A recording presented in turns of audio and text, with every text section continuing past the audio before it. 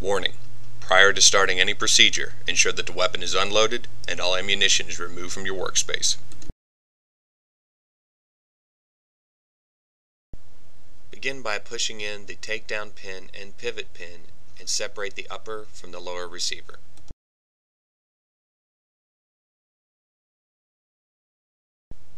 Using a finger or a small tool, depress the buffer detent pin and slowly extract the buffer and spring.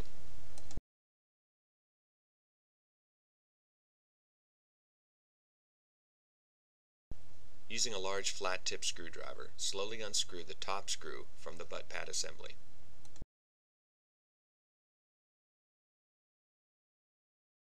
Once fully loosened, you can remove the fixed stock off the standard buffer tube.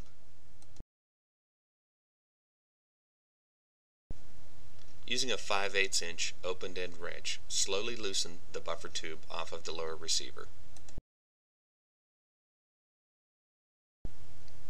Slowly unscrew the buffer tube, ensuring that you do not release the buffer detent spring located in the lower receiver. To prevent loss of this pin, place your finger over top of the pin holding it captive as you slowly unscrew the buffer tube. Once it's removed, you can ease that pin and spring out of its location.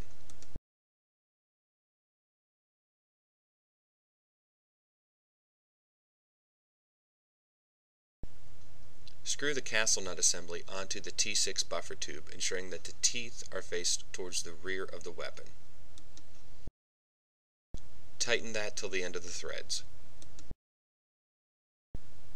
Place the lock plate onto the buffer tube, ensuring that the protrusion side of the lock plate faces towards the receiver.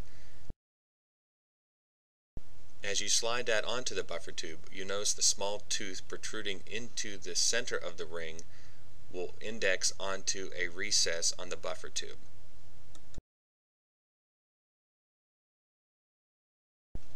Begin screwing the buffer tube onto the lower receiver.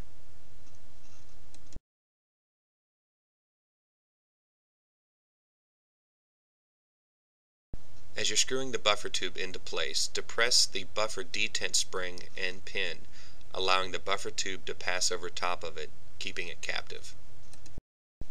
Once it's captive, align the buffer tube so that the lock plate is properly aligned towards the rear of the receiver.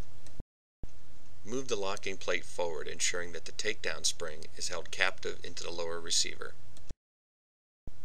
Hand tighten the castle nut so that it is snug up against the lock plate, holding everything into place.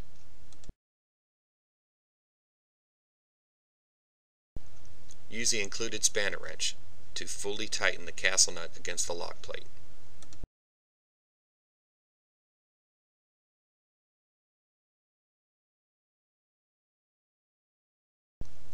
Install the carbine buffer and buffer spring assembly into the buffer tube.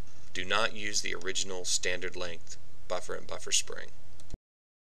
Extend the locking lever on the T6 stock body and slide it onto the buffer tube. Ensure your stock slides to all six positions. Place the upper receiver onto the lower receiver and replace the takedown pins.